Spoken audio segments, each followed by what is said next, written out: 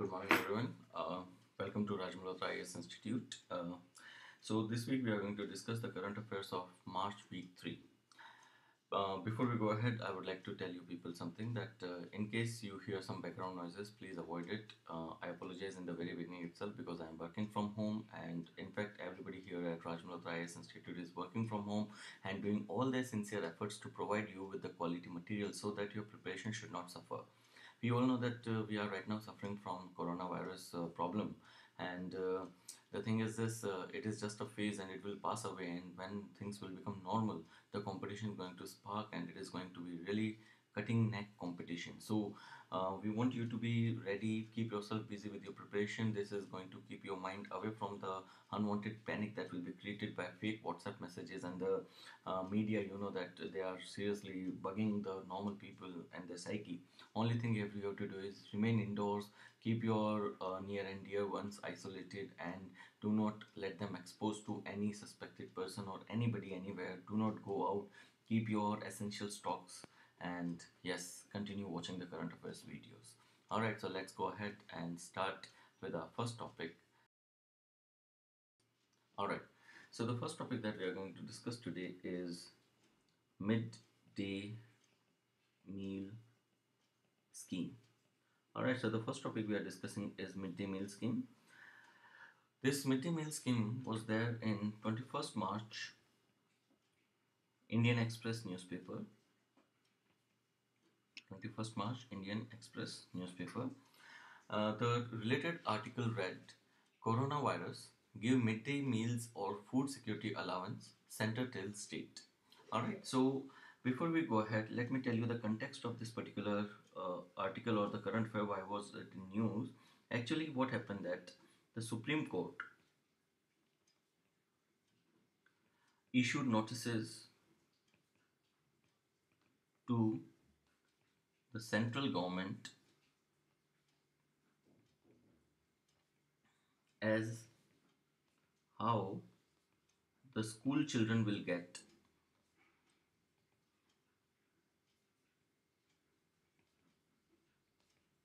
The midday meal. All right particularly when schools are shut down due to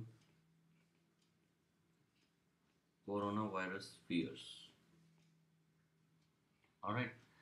So uh, in return so what happened that in return to this notice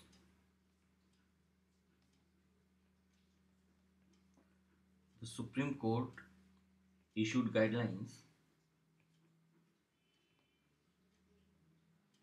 to the states that they must either facilitate provision of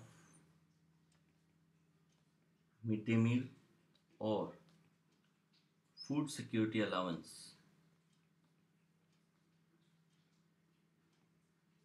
under the uh, under uh, Rule 15 of midday meal. All right. So this was the context of this particular newspaper uh, news article. So here in this article, we are going to discuss two, three more very important topic. The first topic is we are going to discuss the midday meal scheme. The second we are going to discuss is uh, Rule 15 of midday meal scheme and the third we are going to discuss is Samagra Shiksha Abhiyan. Alright, so these are the three topics we are going to discuss in detail. Alright, so let's start with the first thing first that is the midday meal scheme. Alright, now this midday meal scheme, it is a scheme of Ministry of Human Resource Development, which was launched in the year 1995. It was launched in the year 1995.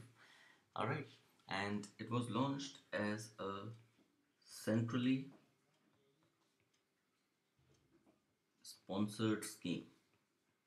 It was launched as a centrally sponsored scheme. All right. Now, if we see that what are the provisions?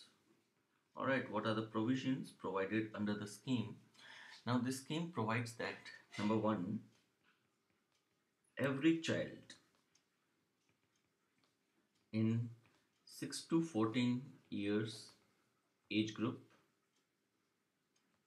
every child in 6 to 14 years age group attending first to 8th class in any government in any government school or government aided school as well as madrasas and maktabs religious schools which are government aided. Even all these children they will be entitled to they are entitled to they are entitled to hot cooked meal to hot cooked meal or a security or a food security allowance or a food security allowance if food security allowance if hot cooked meal could not be provided. If hot cooked meal could not be provided. All right.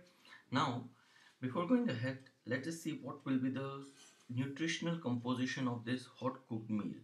All right. So let's discuss the nutritional composition which might come in the form of prelims question in your examination paper.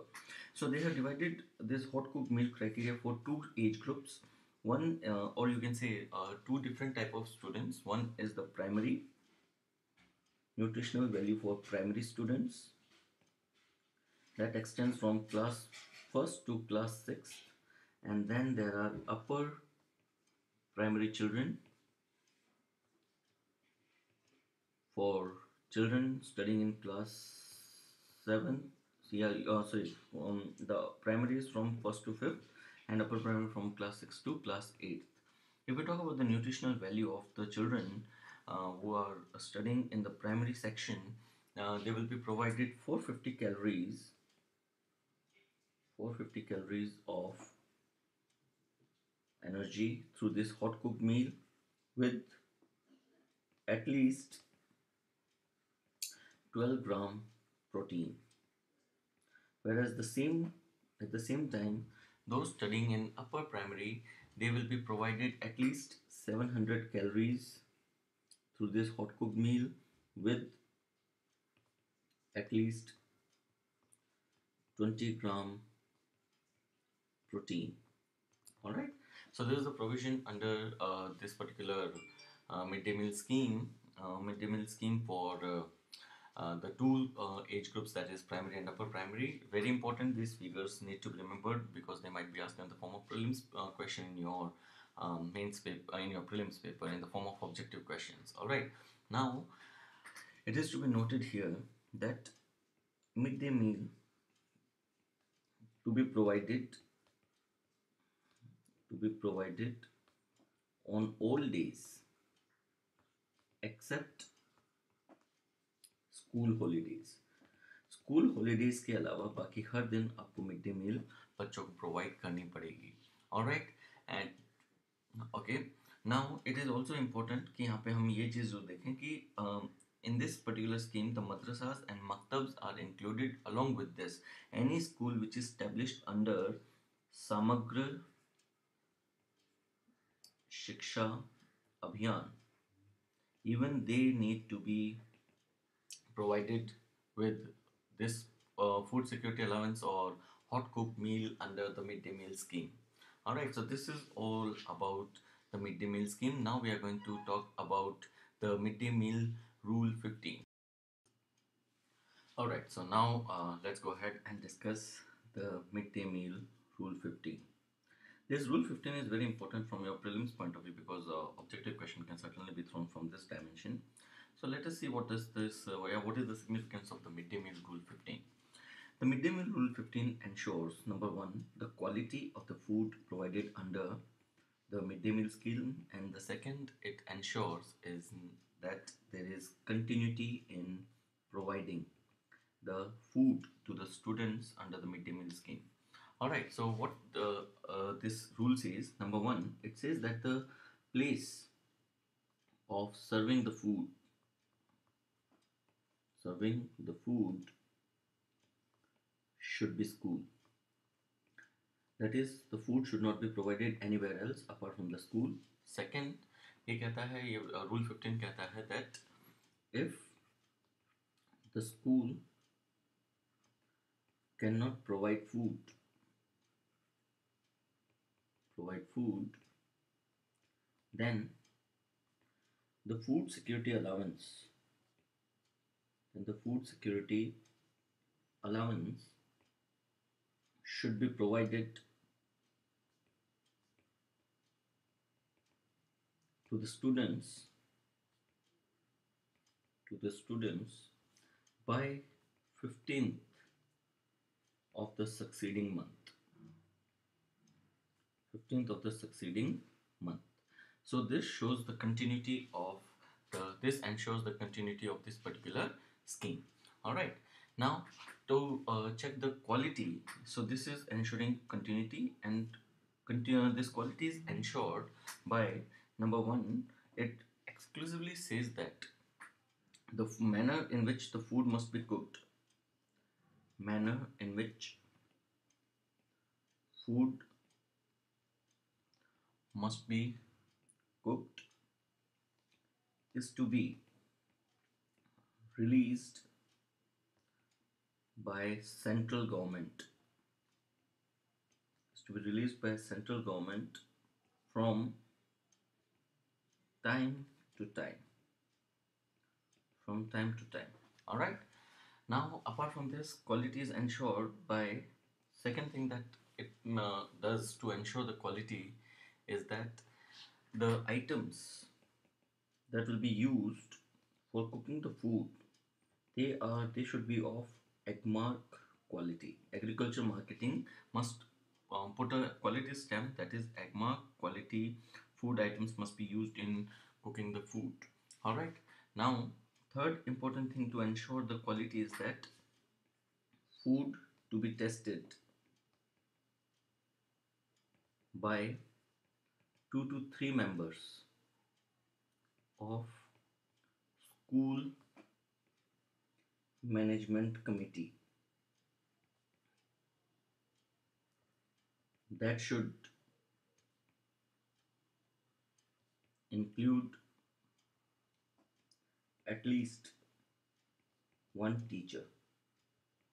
All right now this school management committee it was set up under the right to information act. All right and under the right to information uh, sorry right to education act it was uh, created and two three members of this school management committee must test the food before the food is distributed to the student or served to the student. All right.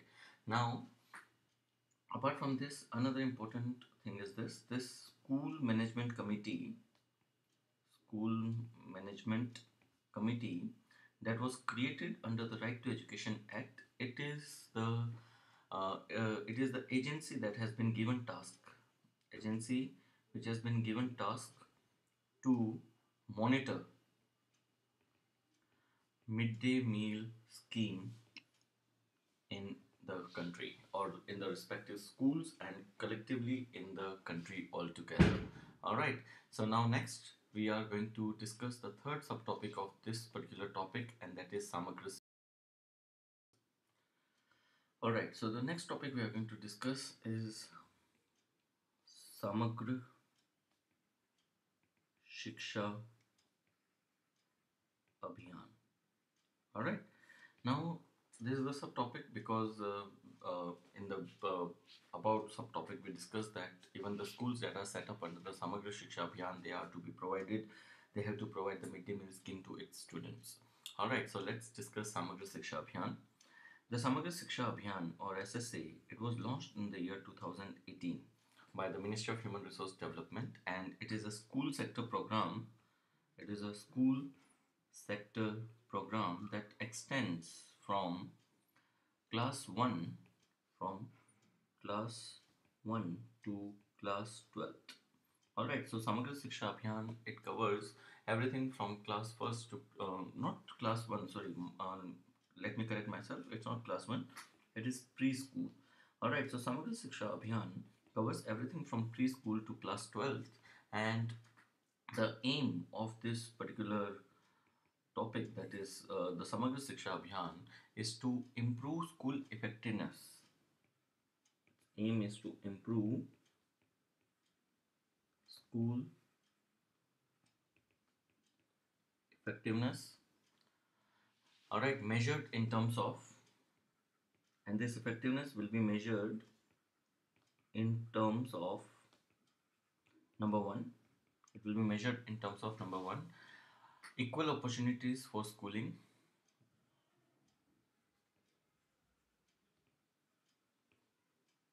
Equal opportunities for schooling, and second is equitable outcomes. All right, this is how Samagra Shiksha Abhiyan will be uh, implemented that it should ensure equal opportunities for schooling to all and equitable outcome in terms of uh, um, the learning outcomes. That is those who are disadvantaged should be benefited more and those who are already advantaged they should be uh, brought at par with the, the, those people who are disadvantaged by helping the disadvantaged more. This will this is what is the meaning of equitable learning outcomes. All right. Now uh, another very important point about Samagra Shiksha Abhiyan from your prelims point of view and that is that this Samagra Shiksha Abhiyan it was launched by amalgamating by amalgamating that is mixing or fusing three existing programs and these three existing programs are number one Sarva Shiksha Abhiyan and second राष्ट्रीय माध्यमिक शिक्षा Abhiyan and the third sub program that was fused to in the Samagra Shiksha अभियान is teacher education. और right इन तीन topics को fuse करके जो या इन तीन सब स्कीम्स को फ्यूज करके समग्र शिक्षा अभियान गवर्नमेंट ने लॉन्च किया 2018 में alright so this was all about the midday meal and why was it in news now let's go to the next topic alright so the next topic we are going to discuss that is topic number two we are going to discuss is bt cotton and white flies problem in the cotton plant in india. Alright. So, पहली चीज़ तो मैं आपको अभी बता दूँ कि BT cotton does not kill the white flies. It only tackle the problem of bollworms alright तो बेसिकली ये करंट अफेयर क्या है, इसके बारे में अभी पहले चर्चा कर लेते हैं। देखिए, अभी रिसेंटली क्या है कि जो national botanical national botanical research institute है research institute which is based in Lucknow. इस इंस्टीट्यूट ने अभी रिसेंटली एक ऐसा वैरायटी कॉटन का डेवलप किया है। It has developed a variety of cotton plant which is resistant to, which is resistant to white flies right ये जो बीटी कॉटन है it is resistant to white flies ये बात ध्यान रखें कि ये जो व्हाइट फ्लाइज हैं they can not be tackled by can not be tackled by BT cotton BT cotton only solve the problem of bollworms right it only solve the problem of bollworms and not white flies और white flies it is a big challenge it is a big challenge to cotton farmers in India. To cotton farmers in India. क्योंकि अगर आप advert अगर आप continuously newspaper पढ़ते हैं तो आपको पता होगा कि 2015 में 2015 में two third of entire two third of entire cotton plant cotton plant in Punjab was destroyed by white flies और वाइट फ्लाइज इस वजह से जो कॉटन क्रॉपर्स हैं, जो कॉटन फार्मर्स हैं, उनके लिए बहुत ही बड़ा नाइटमेयर है। Not only this not only this this white flies they are uh, they they damage they damage more than 2000 varieties of plants and carry 200 plant disease viruses. Carry disease viruses. Alright so, यहाँ से आगे चलने से पहले थोड़ा सा हम एक बार बीटी कॉटन के बारे में देख लेते हैं और थोड़ा सा इसके इम्पैक्ट को भी यहाँ पे एनालाइज कर लेंगे। जो बीटी कॉटन है it is a genetically modified crop. It is genetically modified crop. राइट इस जेनेटिकली मॉडिफाइड क्रॉप के अंदर क्या हो रहा है?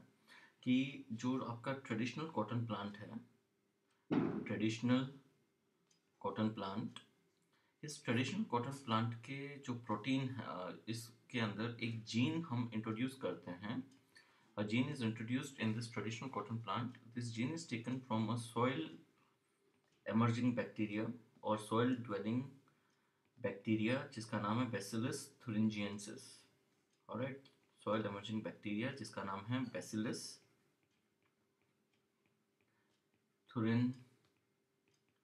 Thuringiensis जिससे इसका नाम बीटी आता है Alright, thuringiensis.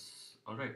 ये जो बेसिलस thuringiensis से जीन निकला है it results into production of toxic production of toxic protein जिसको जब भी बॉलवॉम खाते हैं उनकी डेथ हो जाती है। और राइट इस तरीके से ये जो बेसिलस थुरेंजियंसिस का जो जीन है, वो जब ट्रेडिशनल कॉटन प्लांट में इंट्रोड्यूस करते हैं, उसके बाद जो ये टॉक्सिक प्रोटीन निकलती है it kills the it kills the bollworms that feed upon the leaves of this genetically modified cotton plant alright अगर इसके इम्पैक्ट की बात करी जाए तो this BT cotton has turn out to be a big has turn out to be a good thing for the cotton farmers in the country and it has been found out by the survey की 2002 से लेकर 2008 के बीच में ये देखा गया कि around 533 house 533 farm households banked upon the BT cotton and this reported something which is positive that is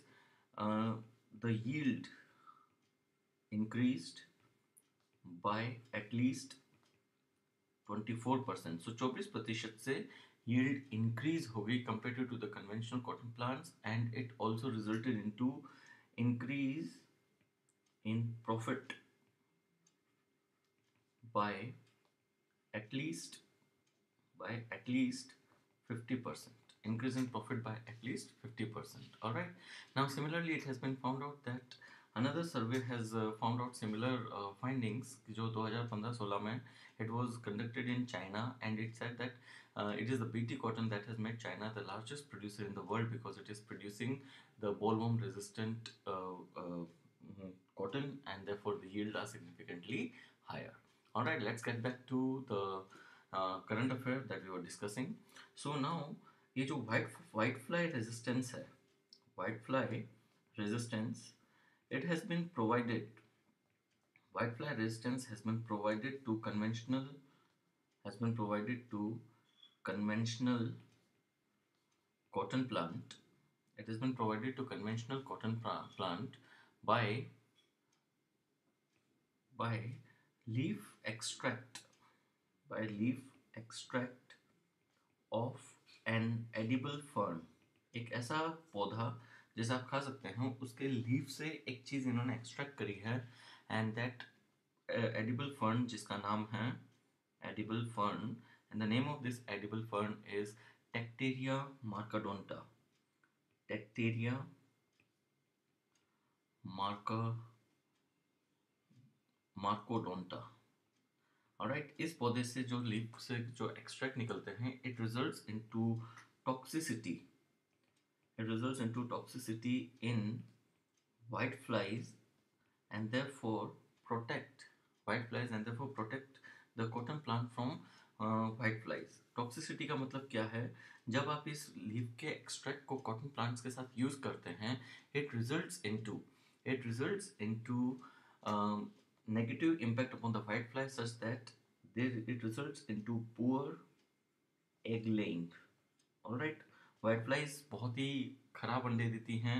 The eggs are abnormal that results into no normal growth of plants alright so uh, all right uh, then it also interferes with the life cycle of the insect all right nymph and larva development nymph and larva development is also negatively impacted यानी जो white fly है उसकी अगर पूरी life cycle देखें from egg to nymph nymph to larva to adult to adult. This entire cycle is disturbed by this extract from the plant and therefore whitefly does not affect the cotton plant to the level it usually will do.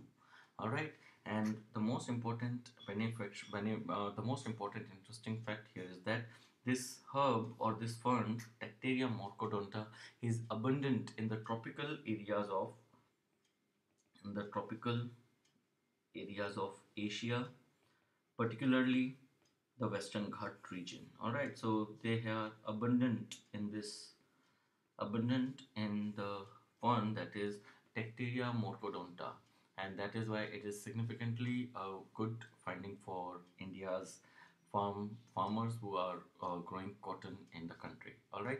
So now let's switch to the next topic. Uh, okay, so let's go ahead. The next important topic that we are going to discuss, that is the third topic, is ARPIT program of MHRD और इसी के साथ में हम दो चीज़ और discuss करेंगे मूक platform and Swayam platform. So we'll be discussing two more things: Mood platform and Mood MOOC platform and Swayam platform. Before we go and discuss uh, Arpit, पहले हमें इन दो प्लेटफॉर्म्स के बारे में चर्चा करनी पड़ेगी because they form the base for ARPIT alright they perform they will create the base for arpit so arpit program के बारे में बात करने से पहले let's discuss about the mooc platform MOOC. MOOC stands for Massive Online Open Course. Alright, so it is Massive Open Online Course. Alright, so let me correct it. MOOC stands for Massive Online Open Course. It is a free, it is a free web based distance learning program of Ministry of Human Resource and Development. It is a free web-based distance learning program of uh, Ministry of Human Resource and Development. All right, and it is based upon it is based upon the Swayam platform. The Swayam platform for online courses. Alright? Now if we talk about the Swayam platform the Swayam platform is indigenously developed platform. It is indigenously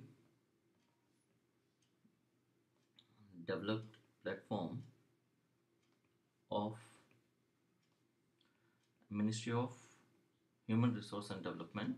It is an indigenously developed program of uh, Ministry of Human Resource and Development and AICTE that stands for All India Council for Technical Education and this platform was developed with the help from Microsoft. Alright, now ये जो platform है इस platform पे जितने भी open online courses हैं उनको provide किया जाता है and uh, this pro- this platform provides open online courses free of cost in the form of web-based distance learning program and using this SWAYAM and MOOC the three cardinal principles. So MOOC plus SWAYAM, it results into upholding of it results into upholding of three cardinal principles. Three cardinal principles of education in India and these three cardinal principles include number one access to quality education. Second is equity in education. And third is quality education. So these are the three cardinal principles of education in india which are provided through mooc and SWAYAM platform. All right. Now apart from these things the mooc and SWAYAM platform also provides teacher enhancement the teacher training opportunity. Alright, it also provides teacher training opportunity and for teacher training a program was launched for teacher training a program was launched by the Ministry of Human Resource and Development under the title ARPIT. So ARPIT stands for Annual Refresher Program. Annual refresher program in teaching. In teaching that was launched in the year 2018 so before going ahead why arpit was in news? Arpit was in news because uh, the minister of human resource and development he was answering to the parliament and before the parliament he reported that before the parliament, he reported that Arpit program want to train around 5 lakh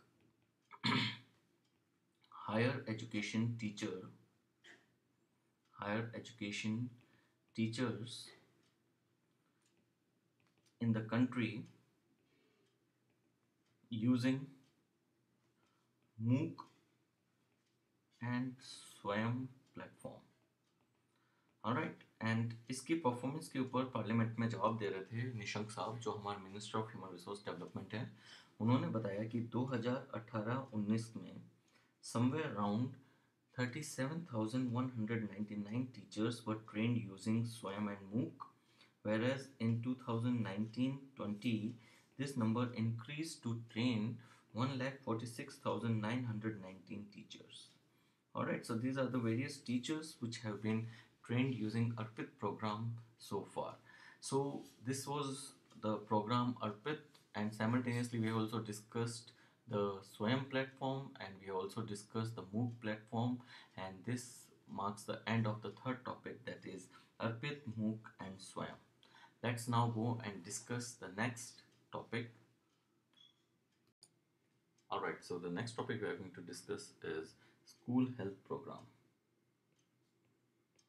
School health program. Alright so if we look at the school health program the school health program was launched in the year 2018 it was launched in the year 2018 and it was launched under Ayushman Bharat project. It was launched under Ayushman Bharat project. It is a collaborative it is a collaborative program. It is a collaborative program of Ministry of Health and Family Welfare and Ministry of Human Resource Development. Alright Now, this program, that is the school health program, it has dual targets, and the dual targets are represented in the form of number one, that is health, good health, and second is quality education. Quality education. All right, so health and quality education, and to go for achieving these targets of health and quality education for the students, uh, the teachers as well as the students have been given some responsibility under the student health program. The teachers have to act as health and wellness, health and wellness ambassador, and the student has to act as health and wellness messenger. Alright, so what will be the task of health and wellness ambassador? The task of health and wellness ambassador is simple that is, this uh, health and wellness ambassador it will organize it will organize culturally sensitive activity. It will organize culturally sensitive activity based sessions for the students and the community for one hour per week for 24 weeks in a year. Right so it will organize uh, cultural sensitive activities based sessions for one hour per week for 24 weeks in a year it will what it will do is it will promote joyful learning. It will promote joyful learning. All right now if we talk about the other dimension that is students the students will be acting as health and wellness messengers in the society and they will be spreading spreading message of good health hygiene in the society which they will learn from which they will learn from the health and wellness ambassadors that is their teachers. All right let's go ahead. Now if we talk about this scheme under this scheme every tuesday has been dedicated in the school as health and wellness day. Health and wellness day. All right? If we talk about the objectives of this scheme if we talk about the objectives of this particular program this program is, has number one the objective that it want to achieve is number one create awareness about age related. Create awareness about age related health and nutrition among the children which they will circulate about around in the society being the health and wellness ambassador. The second objective is detecting and testing. Detecting and testing diseases early in children. Early in children. Detecting and testing diseases early in children. Next what we'll do is uh, what this program will do it will ensure safe and quality drinking water. It will ensure safe and quality drinking water in schools. Next what it will do? It will spread awareness about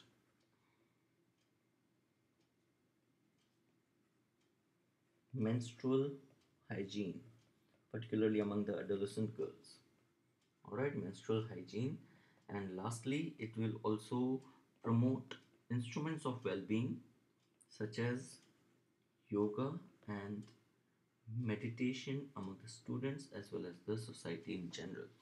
These are the various objectives. All these objectives would ensure achievement or fulfillment of will ensure fulfillment of sustainable development goal 3 that talks about health and well-being of all. That talks about health and well-being of all. All right. Now the thing is this this school health program it will be linked it is linked with other similar programs. It is linked with other similar programs that include number one fit india movement. Fit india movement. Second it is eat right campaign. Eat right campaign.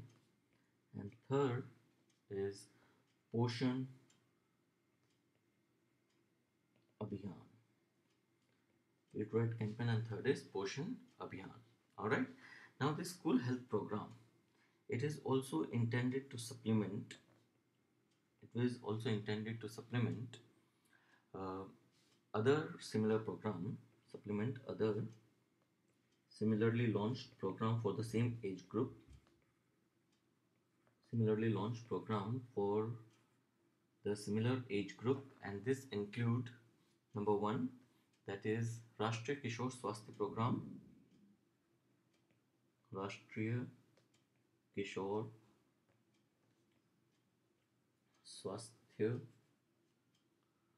Programme and second is राष्ट्रीय बाल स्वास्थ्य programme. Right now this Rashtriya Kishor Swasthya program tackles the problem of adolescent health and this Rashtriya Bal Swasthya Program tackles the problem or uh, problem, problem or it facilitates early testing and detecting of diseases all right so in programs को supplement करेगा school health program so this was all that was important with respect to uh, with respect to the school health program all right so let's now switch to the next topic all right so the next topic we are going to discuss is electricity production electricity production in india. And also we are going to discuss about international energy agency. And we are also going to talk about the related schemes of the related schemes related to electricity production in india. So let's begin the current affair. So this week uh, international energy agency has published a report or statistics which is known as key world energy statistics. Key world energy statistics 2019 and according to these uh, statistics india is the third largest producer and consumer of electricity in the world. India is the third largest consumer and producer of electricity in the world.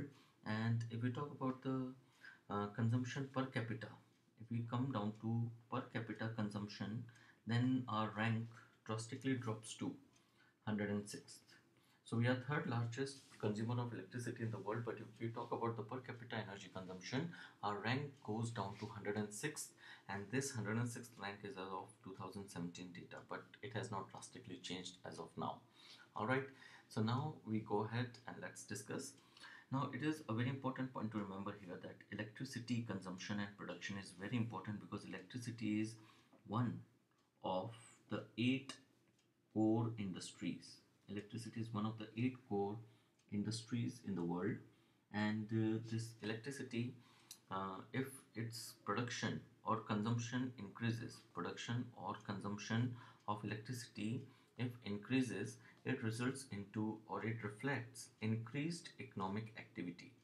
Increased economic activity which is very much true because you can see it from the statistics that uh, since independence since independence the energy demand uh, since independence energy production and consumption has increased in, uh, consumption has increased more than 100 times um, since independence.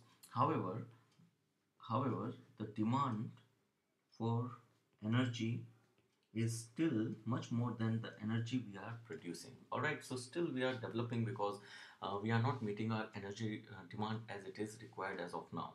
But suddenly the energy production and consumption has gone by 100 or more than 100 times since independence. All right so this is related to energy consumption and production in the country. Now some related schemes. Some of the related schemes with some of the related schemes with electric electricity sector. The first scheme that I would like to discuss here is Saubhagya scheme. That is Saubhagya scheme.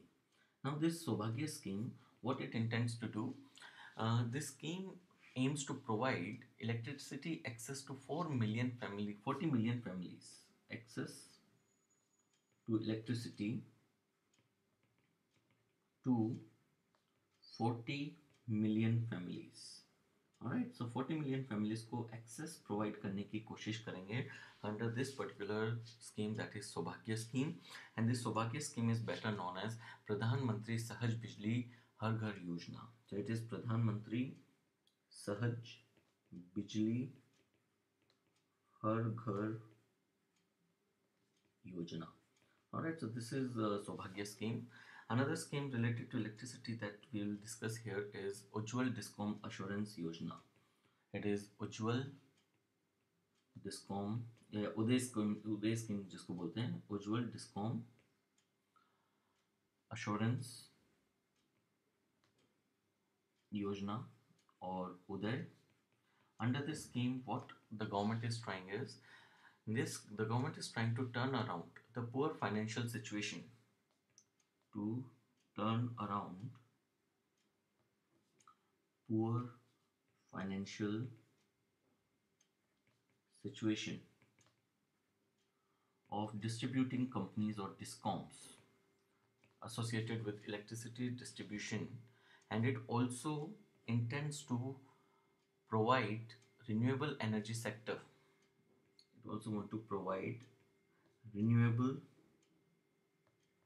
energy support to the discoms so that their financial conditions can also improve. So basically this Uday want to provide 24 into 7 affordable electricity to the various households in the country. Alright, another important scheme that we are going to discuss, the third important scheme is Ujala scheme. Alright, Ujala. Ujala, recalling, Ujala stands for Unnat Jyoti.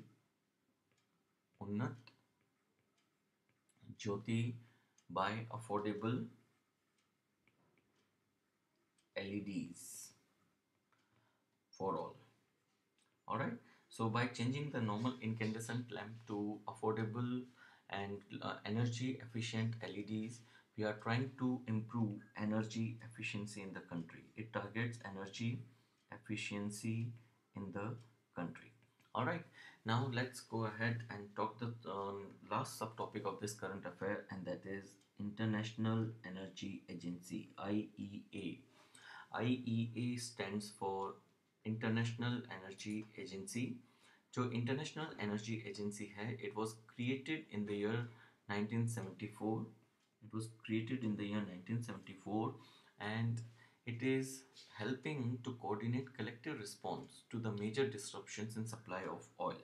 It was created in 1974 to avoid any disruption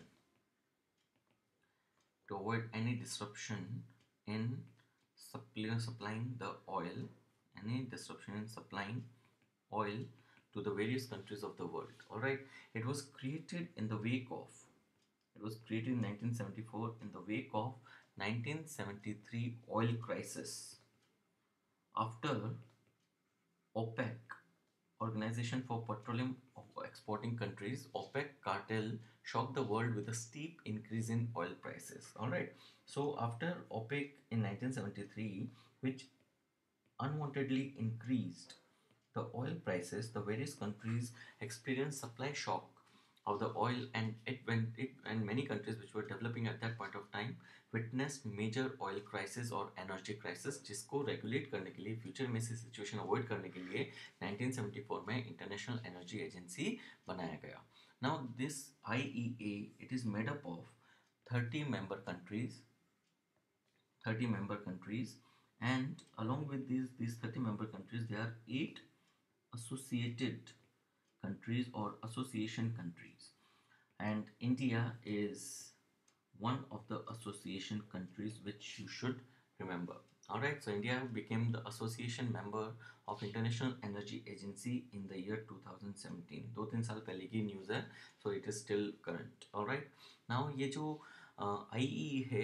it is an autonomous intergovernmental organization IEA is autonomous energy or you can say it is autonomous inter-governmental organization under OECD intergovernmental organization under organisation for economic cooperation and development O के अंदर establish कर रखा है international energy agency को now this I जो है it has four main focus area four main focus areas. And these four main focus areas are number one it is energy security. Energy security. Second is economic development. Economic development. Third it is environmental awareness environmental awareness. And the fourth one that is engagement worldwide. Engagement worldwide. These are the four focus areas in which the international energy agency targets. Now this international energy agency it has headquarters in paris in france. It is headquartered in paris in france. All right now this is uh, uh, all the important information that you require for International Energy Agency from examination point of view. And this is very much important to remember here that this uh, um, key world energy statistics to report here it is published uh, published it is generally published by the international energy agency all right so this was all about energy production in india some of the related schemes and the international agency international energy agency that produces the statistics which was in news for this particular week. Let's now switch to all right so the next topic that we are going to discuss is covid-19 pandemic and global unemployment. So it is covid-19 pandemic and global unemployment all right so the thing is this that this topic is based on a recent revelation that was made by the international labor organization and it said that on labor front on labor front the covid-19 disease has resulted into three big challenges three big challenges the ILO, International Labour Organization, says the first challenge would be the first challenge would be unemployment. कि ये जो Covid nineteen की वजह से है unemployment create होगी society के अंदर this unemployment would B so ILO talks about two cases uh, in case of unemployment. The first case is number one, it is best case scenario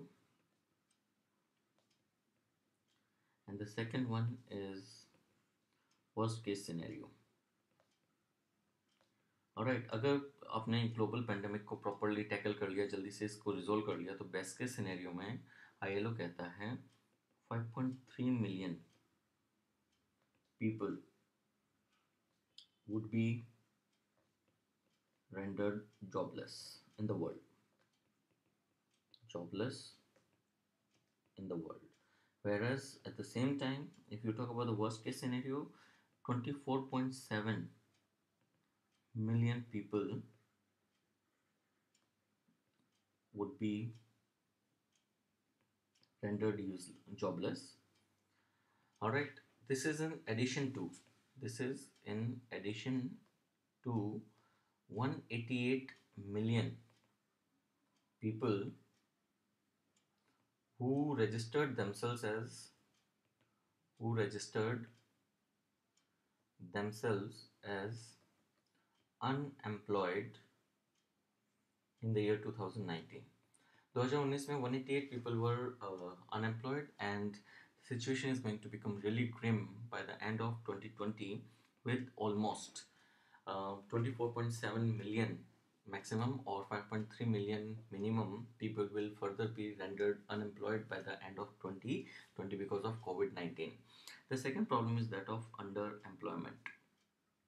Underemployment एक और problem emerge हुई है Covid nineteen की वजह से because there is poor access to work poor access to work जिसकी वजह से full potential of the employ full potential of the employee cannot be extracted and therefore it has resulted into under employment and therefore it has resulted into under employment. All right. Now under employment se teesri problem emerge and that is of wage loss. All right. Or you can say the income losses so what will happen, ILO has said that if you go by this particular statistics, the current statistics, uh, ILO has uh, said that because of underemployment and unemployment and poor access to work, almost dollar 860 billion to dollar 3.4 trillion worth income loss will be there. Worth income loss will be there. All right and because of this income loss because of this income loss what will happen? There will be further decline in people's per, in people's tendency for consumption tendency for expenditure in consumption segment लोग बाग अब consumption कम करेंगे right क्योंकि job loss हो गया है income uh, loss हो गया है तो people will spending less and when people will spend less when people will spend less what will happen will result into falling uh, business sentiment business sentiments will fall down and ultimately a kind of recession will loom in it will result into recession which will further result into unemployment. So basically the situation is worse than 2008 the situation is worse than 2008 global financial crisis. Right and if you talk about the solution that has been given by ILO, it says that the solution to this problem rests only in the form of cooperation between global economies cooperation between global economies which shall result into only cooperation between global economies which shall result into stimulus packages stimulus packages as it was done in the time of global financial crisis of 2008 उससे भी बड़ी cooperated manner में economy को boost देने वाले packages launch करने पड़ेंगे, तभी ये प्रॉब्लम रिजोल्व होगी otherwise this problem is going to escalate into a very big trouble after once this COVID 19 is solved. All right So let's go to the next topic. Alright, so the next important topic we are going to discuss is the special powers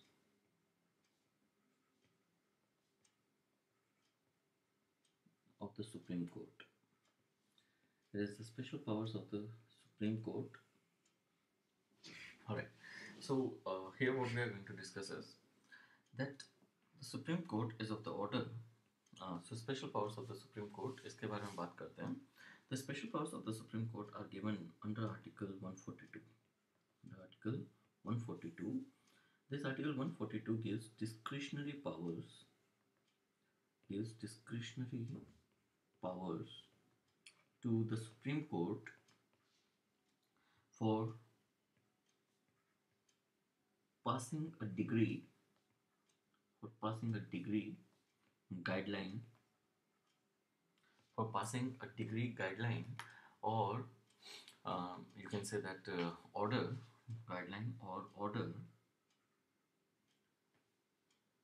for doing complete justice for doing complete justice in matters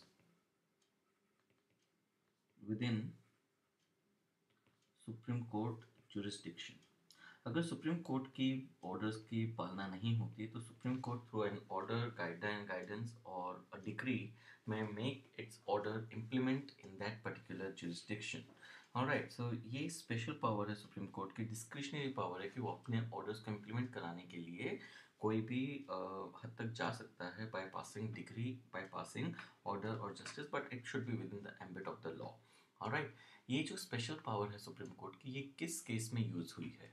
now supreme court ने इस power को use किया use it to remove a Manipur minister from office Manipur minister from office whose disqualification whose disqualification on the basis of was disqualification on the basis of anti-defection law was pending before the speaker was pending before the speaker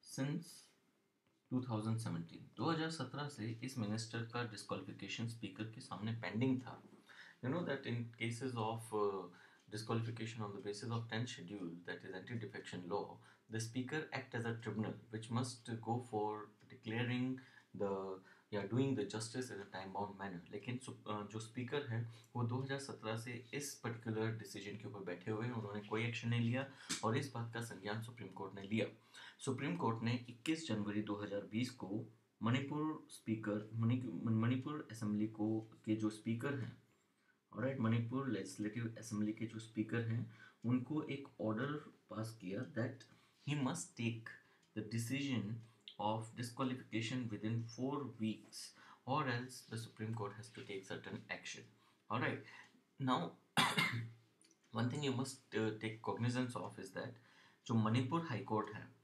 Manipur high court ने भी similar observation the that that the speaker is not doing justice by delaying the uh, judgment and uh, they the Manipur High Court it it uh, directed the um, Speaker of the, legis- the Legislative Assembly to go for quickly deciding upon whether the minister should be disqualified or not. But the minister did, uh, Speaker did not take any action.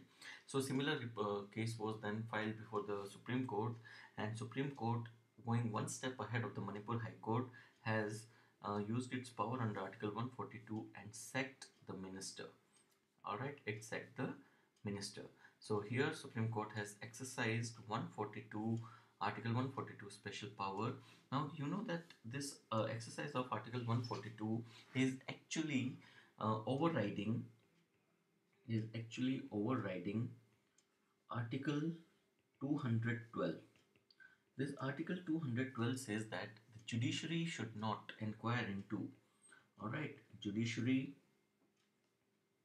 not to inquire into not to inquire into proceedings of the legislature. Proceedings of the legislature. All right so this uh, judiciary not to inquire into proceedings of the legislature और right और ये जो speaker का action है on disqualification of the M L As on the basis of um, anti-defection law it is a matter which is purely legislative in nature all right though yeah, though it is a quasi-judicial action but it is purely legislative in action and therefore it was protected by article 212 but by using the extraordinary power of the supreme court under article 142 this protection to legislative functionaries under article 212 has been overridden by the Supreme Court order. So this is a very good important, uh, in fact you can say this is a significant uh, um, um, uh, event in India's polity and a possible question may be drafted from this particular segment. Alright, so this was all about uh, the exercise of the special power by the Supreme Court. Anti-defection topic has already been covered in one of our one of our previous lectures. So I'm not discussing it right now here. So let's go ahead with the next. Alright, so the next important topic that we are going to discuss is classical languages.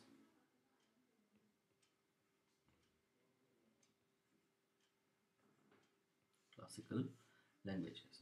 This topic, let's see why this topic was in news. This topic was in news because the union government has recently given the central university status given central university status to to whom uh, university status to three deemed Sanskrit universities, three deemed Sanskrit universities. All right, universities, three deemed Sanskrit universities. All right, and this bill, uh, this uh, this was done through a bill, and this bill was passed in Rajya Sabha. All right, now the point here to remember is that the government said that the government has done this in an effort to protect the in an effort to protect uh, what the classical languages done this in an effort to protect the classical languages. All right so now we have to look into that what are the classical languages. Now the classical languages there are six languages that have been given the status six languages in india that have been given the status of classical languages. And these six languages are uh, the status and the year uh, the these six languages are number one Tamil which was discovered which was declared a classical language in the year 2004 then it is Sanskrit which was given a status of classical language in 2005 then there is Kannada that was given a status of classical language in 2008 then there is Telugu that was given a classical language status in 2008 again. Then there is Malayalam that was given the status of classical language in 2013 and then there is Odia that was given the status of classical language in 2014 alright now it is a point that you should remember that all these languages they are languages they are mentioned in schedule Schedule 8 of the Indian Constitution that deals with the official languages. Alright, now for promotion and protection of the classical languages, it is the Ministry of Culture. That is the Ministry of Culture that issues guidelines as what should be done in order to protect, promote, and preserve these classical languages. All right. Now, if you uh, if you uh, see the criteria for declaring criteria for declaring a language as a classical language number one is that uh, it should have high antiquity all right high antiquity of its text that is that is to say that uh, the text should have a history of somewhere around 1500 to 2000 years. All right itna purane text hone second is that uh, a body of ancient literature and text which is considerable valuable heritage by generation or speakers.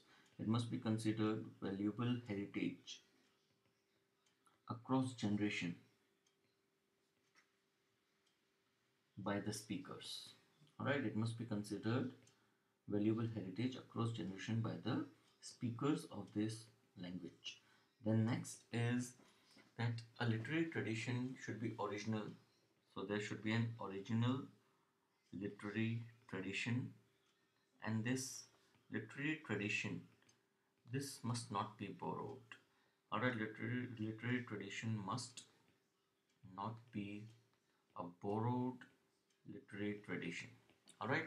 Then apart from this uh, the classical language and the literature it must be distinct. All right? The language and the literature of this language. All right it must be distinct. It must be distinct from modern languages from the modern literature or the modern languages. All right so it should uh, so the modern language may be uh, offshoot from the classical language but the classical language should not resemble like the modern language all right? And uh, one important thing that you should remember is that once a language is notified as classical language.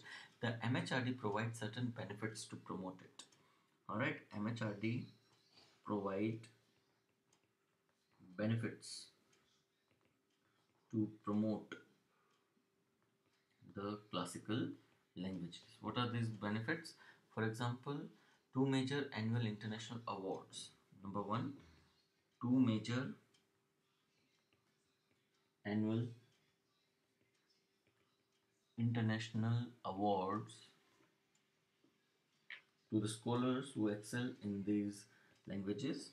Second it also provides that a center of excellence for studies in classical languages set up. Center for excellence in classical languages has been set up by the MHRD for protection, promotion and preservation of the classical languages. Next, it also talks about that the UGC under MHRD is requested to create to start with at least in the central universities a certain number of professional chairs for classical languages. So you can say that it is asking for professional chairs eminent people from these languages occupying certain professional chairs in central universities and therefore these uh, languages that are classical languages will also get a significant boost. All right so this is all that is important from this particular topic that is classical languages. Let's all right so the next and the last important topic that we are going to discuss today is Unnat Bharat Abhiyan. Unnat Bharat Abhiyan. It's a very important uh, scheme. UPSC has already asked this thing in the paper, so let's look into what is Unnat Bharat Abhiyan. Unnat Bharat Abhiyan is a flagship program. It is a flagship program of Ministry of Human Resource and Development. It is a flagship program of the Ministry of Human Resource and Development. Under this particular program, what MHRD has done, MHRD has linked, MHRD has linked the higher education institutions, higher education institutions, all right, with the set of, with a set of five or more villages. The set of five or more villages. All right. And what will uh, these higher education institution will do? These higher education institutions they will identify they will identify the developmental issues. They will identify the developmental issues in rural areas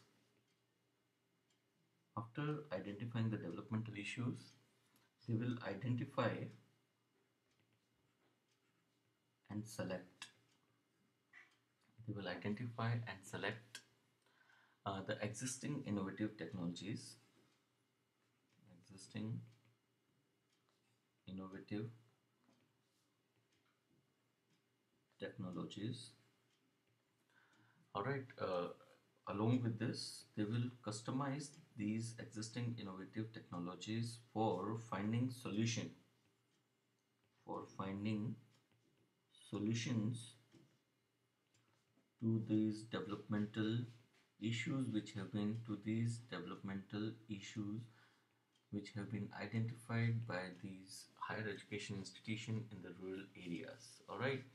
Now uh, in 2018 the government launched the second version the second version which is known as 2.0 version of the Unnat Bharat Abhiyan UBA all right? And uh, in this second version the number of higher education institutions has also shot up. And as of now there are 2474 institutions which have been taken care of around 13,072 villages in India. Alright?